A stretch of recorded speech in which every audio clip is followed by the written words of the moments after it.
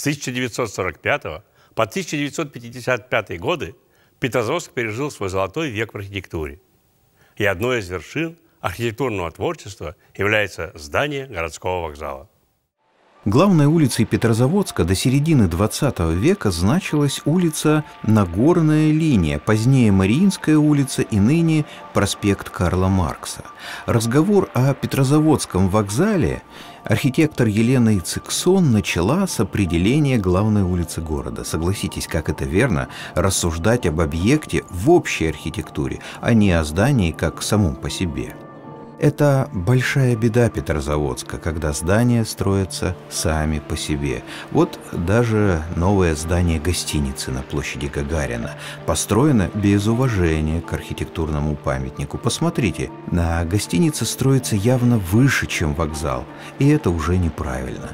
Даже стоящая сбоку хрущевка карнизом своим не превышает карниз вокзала. Но об этом мы поговорим позже. Итак, разговор о главных улицах города.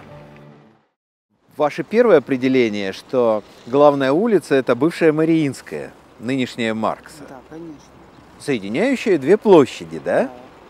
И определение главной улицы – это именно соединение двух объектов, да? Двух пространств. Двух пространств. Больших городских, значительных городских пространств. Ну вот в том случае Да. это соборная Это именно площадь. должны быть значительные городские пространства, которые играют большую роль именно в самом городе.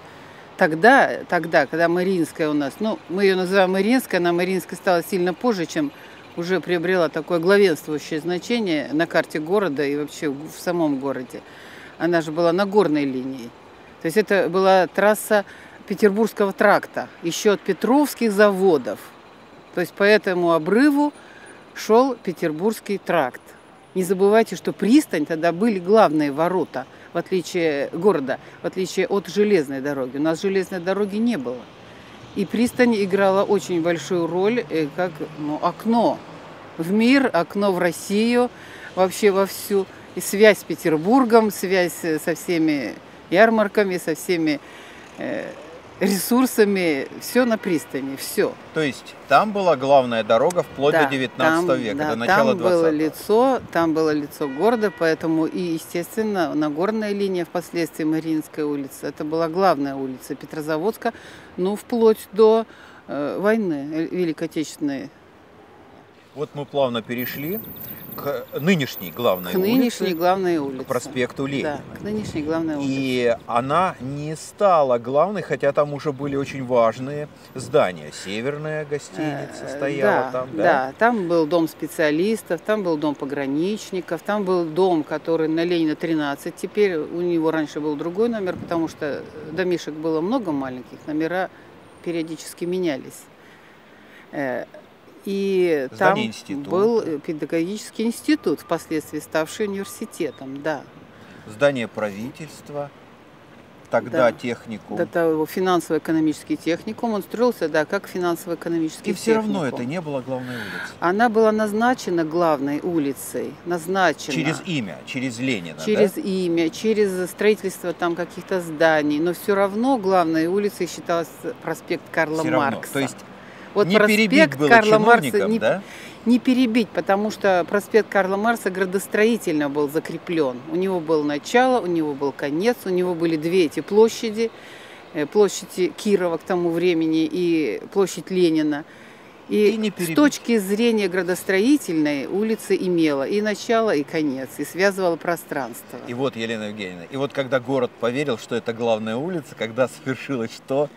Э, Когда свершилось? После войны Петрозаводск получил новый генеральный план в 1946 году, и новый начальник управления по делам архитектуры Дмитрий Масленников, он озаботился тем, чтобы вокзал, который должен был новый быть построен на месте старого, вот там, где сейчас станция товарная, был перенесен вот сюда на ось. Он был хорошим градостроителем, планировщиком. У него был большой опыт, и он, естественно, знал, что главный проспект должен иметь такую доминанту в начале в своем, от которой с которой бы он заиграл и стал бы главным уже в градостроительном смысле. Елена Евгеньевна, вот вы говорите, главная улица соединять должна два пространства да, существенно. Да, да. Вот на какие эти пространства являются у проспекта Ленина? У проспекта Ленина это площадь Гагарина нынешняя, тогда привокзальная. Угу. И, естественно, наша главная радость – это озеро. Озеро, да. Хорошо. А вот площадь Гагарина, а, может быть, надо говорить не площадь Гагарина, а все-таки вокзал? Э, дело в том, что каждое здание должно иметь вокруг себя э, ансамбль. Каждое здание, лидер, оно должно иметь аккомпанемент соответствующий. И вот вокзалу, посмотрите, как ему к лицу вот эта полукруглая площадь. Но только не такая пустынная, как сегодня.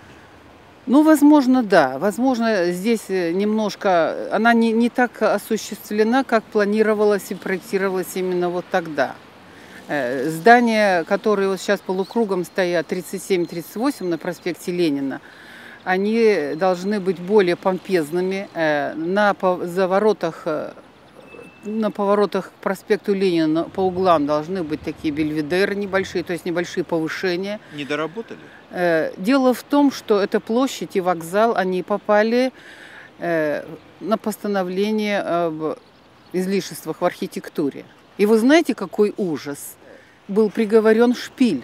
Его не должно было быть, потому что уже наступило время, когда эти бесцельные пустые траты архитекторов должны были быть э, изничтожены, и с ними должно быть покончено. И его спасло только то, что заказ на размещение этого шпиля уже был осуществлен, шпиль лежал готовый к монтажу, и ну что, выбрасывать? Ну не выбрасывать. Но вы представьте себе без шпиля наш вокзал. Я не представляю. И я не представляю. Елена Евгеньевна, вот скажем, вот а, телезритель может понять, кто помнит здесь голубые ели на этой площади. И вот тогда она действительно вкусно смотрелась. А сегодня это пустырь, на который тут даже, если вспомнить, каких-то оленей пытались ставить. Чего только не пытаются, но... Ну, я думаю, что, может быть, надо было не так э, резко сносить. Эти ели, вообще, в принципе, они не очень долго живущие, и они потом приобретают уже некрасивый вид. Но Конечно, вы представляете площадь Они Ленина стали без лысы, елей? да. Елена Но Евгеньевна. вот мы видим, что сейчас здесь есть посадки новых елей. Но когда они вырастут? Ой, Когда они вырастут, Конечно, я не да. знаю, потому что сейчас, конечно, экологическая ситуация, с транспортом ситуация, она более напряженная, чем была тогда, когда росли прежние ели. И как эти ели справятся с этим, вырастут, э, насколько быстро, трудно сказать. Кстати, интересно взглянуть в будущее.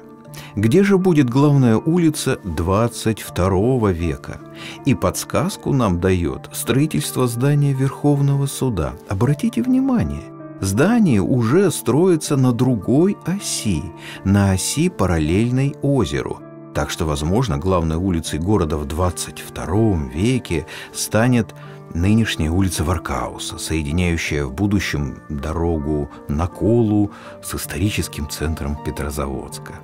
Там же находится аэродром, как, возможно, более перспективная транспортная линия. Вот и замкнется технологическая цепочка. Сначала водным путем развивался Петрозаводск, с советских времен железнодорожным и в будущем по воздуху. важным акцентом в нашем разговоре должно быть решение Дмитрия Масленника, а точнее его пробивная сила, революционная, насколько я понимаю с ваших слов, потому что Да. добиться от железной дороги, чтобы они поменяли место вокзала, это, это наверное, мало кому удавалось. Это мало кому удавалось, потому что Министерство путей сообщения на ту пору, даже когда я училась в 70-е годы еще, и у нас э, читался курс транспорт, так называемый, нам все время говорили, что МПС это, Государство в государстве. это, это такая структура, с которой очень трудно. У нее действительно серьезная э, функция – это связь транспортная по всей стране. И железная дорога, это, ну, уважать надо все равно. Поэтому с ними трудно. И в данном случае Масленников э, А в советское время тем более, В когда не советское- было альтернативы другой. Дело в том, что Масленников очень грамотно поступил. Он, э, во-первых, э, это, это предложение внедрил Гипрогуру, который проектировал генеральный план Петрозаводска послевоенный. как идею. Как идею он внедрил. Потом он вышел с предложением устроить всесоюзный архитектурный конкурс на решение центра города Петрозаводска. Именно центра. Как, каким образом видится центр. И он уже не был э, этот, э, эта центральная часть где-то либо на какой-то площади, либо на улице Карла Маркса, либо еще где-то. То есть он затеял линейный центр, дли, длинный центр такой, начиная от городских ворот, которыми является железнодорожный вокзал, через главную улицу, по системе улиц центральных, это улица Энгельса на отрезке до, от проспекта Ленина до площади Ленина, потом проспект Карла Маркса и площадь Кирова. И там в завершении он ставил дворец Советов, который не состоялся потом. Но вот эта грандиозная система и схема вот этого линейного центра, она, конечно, уже вот то, о чем вы говорите, третья в 22 веке улица. То есть это было тогда революционным решением именно для э, продления вот этого центра, для развития его. И вот мы подошли к разговору об архитектурных особенностях вокзала. И, конечно, первое, о чем надо говорить, о гордом шпиле, высящемся над городом. На, на многих вокзалах делается шпиль на многих вокзалах. Это посмотреть, если вокзал советского времени, то это действительно шпиль, это ну, вот традиционное такое явление. На речных вокзалах, на железнодорожных вокзалах. На речных это тоже важно, потому что шпиль, он как-то виден сразу, он привлекает к себе внимание. То есть вот здесь вокзал. Но у нас-то он не просто традиционный. У нас он не просто традиционный. Я вот когда смотрела э, фотографии Петропавловской нашей новоманерной церкви, я усмотрела в пропорциях какие-то соотношения между шпилем, между бельведером вокзала и вот этой ступенчатой композицией всей новоманерной церкви – Э. Граней-то столько ведь? Э, Я... Такое же количество граней? Грани э, похоже, да. Там маленькая такая, И да. там восьмигранная. Бельведерчик, потом еще один бельведерчик с колоннами. То есть эти пропорции, я думаю, что Ципулин, конечно, знал эту картинку, фотографию или открытку с нашим Петропавловским собором. Может быть, его местные архитекторы к этому сподвигли. Да, Впервые названа фамилия архитектора. В 1955 году вокзал, автором которого стал ленинградский архитектор Ципулин, вступил в строй. И очень важно, что этот архитектор попытался создать проект, который бы вторил утраченной Петропавловской церкви. Елена Евгеньевна, давайте это сравнение с Петропавловской церковью мы вот проведем э, полностью. Вот начиная сверху, где звезда и венок. А она же вторит Петропавловской э, э, церкви. Там же был маяк. Э, да, там был маяк. Но он, по-моему, был не на самой макушке. Он не на верхнем ли ярусе был? Честно я говоря, так, я не помню. Я так понял, что он был на самом верху. Да? Иначе, ну, смысл маяка. А залезть туда? так а туда как залезть сюда. Точно так же залезали да. умельцы и по вот этому шпилю. Да. Теперь, хорошо. Второе, вот шпиль. Ведь, ведь потрясающе длинный. Длинный, так, такая да. игла, вот, ведь эту пропорцию, ведь почему было вдвое короче не сделать? Нет, человек ведь очень метко угадал с длиной. Нет, но вы знаете, когда архитектор рисует фасад, он, естественно, пропорционально-то мыслит. Архитекторы, знаете, уже... Объясните нам, вот пропорцию длины этого шпиля по отношению к зданию. Вот как она понимается? Э, дело в том, что здесь идет к массе здания вот сама масса. Когда архитектор рисует фасад, он разбивает его на какие-то фрагменты, на какие-то части, он выстраивает симметричную композицию, и это даже идет на уровне чутья. Вот это идет на уровне чутья. Хорошо. Понимаете? И, а потом только он меряет. Хорошо. Сколько у него там получилось? Но вы ведь не возражаете, что гениальная длина шпили здесь, да? Здесь все соответствует. Все соответствует. Все соответствует. Пойдем Очень дальше. гармоничный фасад. Вот дальше вот это вот э, небольшой фрагментик, я не знаю, как вы мне сейчас подскажете, восьмигранный. Вот он такой, как пожарный. Как кол- А, ну это тоже, это от- относится... К Бельведеру, вот, э, да, Это или тоже называется бельведерами, вот эти вот части все. Все, которые возвышаются над э, кровлей, над э, фасадом здания. Скажите, ведь он же тоже вторит Его можно многоступенчатый. назвать барабаном, потому что у него нет колонн. Как правило, принадлежностью бельведеров являются колонны или трехчетвертные Вот колонны. хорошо, барабан. Для нас это принципиально. барабанщик. Что в этом Да. барабане? Это то, что он граненый.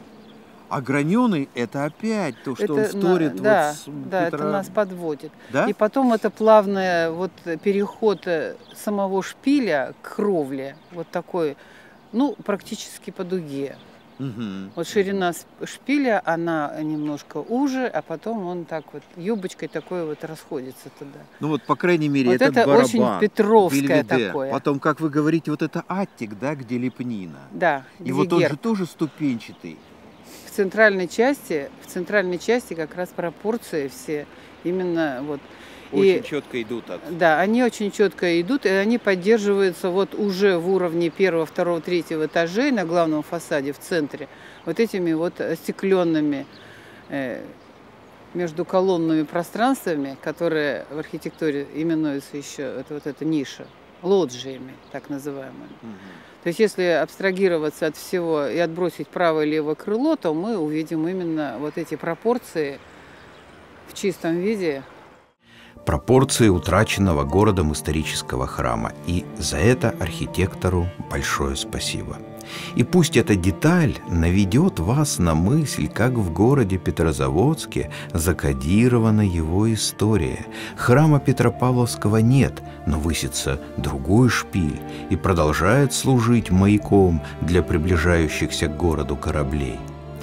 И здесь же надо провести еще одну важную для города параллель, которую нашла архитектор Елена Ицексон. Это сравнение площади Гагарина, то есть привокзальной площади, с главной площадью города, площадью Ленина. Понимаете, если у нас э, неоклассицистическое э, здание вокзала, то оно по всем канонам градостроительства и, не, и неоклассицизма, и классицизма, на который, в общем-то, был обращен этот стиль, э, оно должно иметь возле себя какую-то соответствующую симметричную же и площадь. И вот эта площадь, она вот здесь решается именно таким полукругом. Потому что, ну, я думаю, что можно было, конечно, и прямоугольную площадь, но так как здесь у нас идет еще поперек вот движение улицы Красноармейской, улицы Шотмана, то перетекание вот этой площади Гагарина в главный проспект вот именно такими полукруглыми домами, это очень ложится тоже А на есть еще любопытная деталь. Это на круглой площади находящиеся две кардигардии, да? Да. Они здесь тоже имеют место. А, Они, можно сказать, имеют место быть, потому что тогда картегардии обозначали въезд в город, это был край города. Почему они там такие здесь маленькие въезд. остались? А здесь аналоги этих кардегардий я вижу вот в крайних ризолитах на главном фасаде. Вот они тоже являются своего рода кардегардиями. Они оформлены как классические кардегардии с двумя колоннами вот в этих узких То есть лоджиях. ризолиты это вот эти флигеля. Вот это крайние, да, самые крайние выступы. Мгм. И вообще мне хочется сказать, что при большой длине этого здания, это очень длинное здание, то, что оно разбито вот центральным э, таким ризолитом, э, широким и достаточно сильно вы- выступающим сюда вперед, и маленькими крайними, э, оно не кажется длинным, монотонным, нудным, а работает именно одновременно на- значительным на- кажется. Да, оно кажется значительным, оно работает на всю композицию. А И- еще одну параллель, если можно, Лена Евгеньевна. А нет ли здесь параллели с Адмиралтейством Санкт-Петербурга? Да, может быть и есть, потому что Ципулин же э, ленинградский проектировщик, а в, в Ленинграде, в Петербурге воспитывает архитектура. Ну, окна высокие, потому что за ними находятся такие высокие э, помещения. Там у нас зал ожидания, там у нас, по-моему, ресторан, да.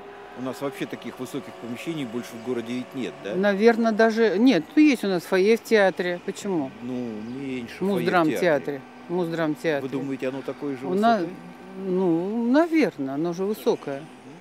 А вот э, под шпилем вот эти высокие окна, там же внутри у нас вообще трехцветное пространство, то есть оно на три этажа. Там у нас лестница, там у нас галерея э, с балюстрадой, там у нас колонны посередине тоже, по периметру, вернее, это центрального под шпилевого пространства. Поэтому это должно, естественно, находить свое выражение на фасаде. То есть там есть такие пространства. Елена Евгеньевна, и последний вот к вам вопросы по внешнему виду. Это по лепнине и по цвету. Вот, вот э, лепнина. А, это ведь уже э, классика для нас такая лепнина, да? Это э, в том же стиле, в неоклассицизме, в котором, который был распространен у нас в конце 40-х и первой половине 50-х лет, это совершенно нормально. И вот эти Каринского ордера колонны, они, естественно, нашли тут свое место. А и вот внутри, и снаружи. Позволяет ли вам зрение увидеть на гербе а, какие буквы? Там, по-моему, написано РСФСР. Вот, вот по-моему, тоже. Почему РСФСР, ведь это интересно. Да? Сегодня останови на улице, и тебе только через одного смогут перевести эти буквы, аббревиатуру. Вы оптимист. Я не думаю, что через одного. А, вы думаете, что еще реже, да? Еще меньше. Но мы знаете, что не отметили на фасаде? Вот да. обратите внимание, вот э, там, где написано вокзал, справа и слева, на этом маттике, у нас верстовые столбы.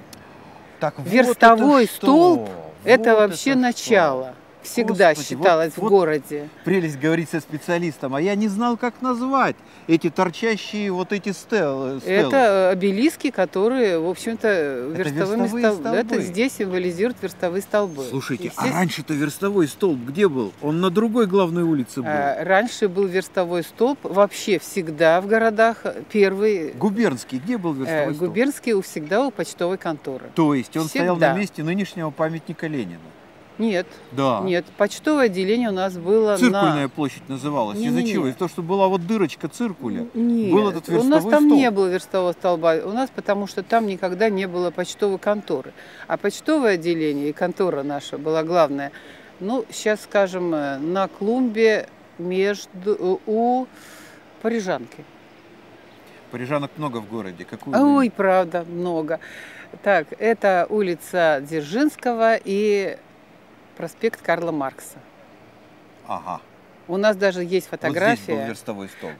Вот там он э, оттуда ну, и считался. по крайней мере, на улице Нагорной, да, нынешней Маркса, да, стоял верстовой да, столб. Да, и да. вот новая главная улица, и вот тебе аналог да, верстовых да, столбов, да, они да. теперь вот здесь. Они здесь символизируют как ну, начало дорог всех, которые идут уже от Петрозаводска. Заканчивая наш разговор, очень интересно у вас спросить по поводу вот нового слова в архитектуре города.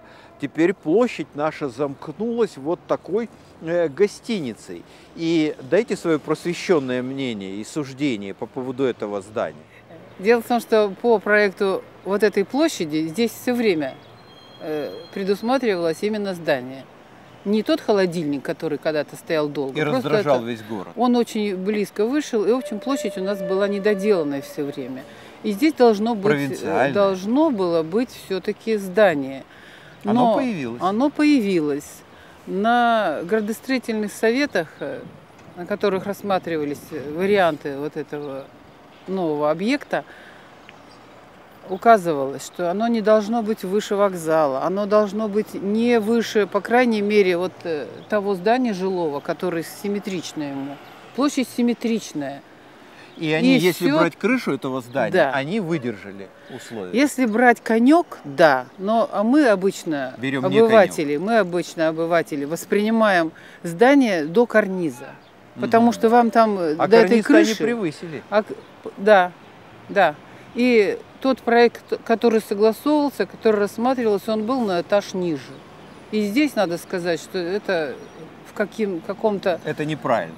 Это неправильно. А может быть, давайте скажем, что... это правильно, но тогда перестройте нам вот это убогое Не надо. здание, так, которое... У нас здесь самым главным является вокзал. Так. И вот то здание не вышло выше вот этих боковых резолитов оптически. Оно достаточно, да. Оно уважает здание вокзала, которое на данной площади никто не будет спорить, что оно является главным. А это немножко не А уважает. это вышло.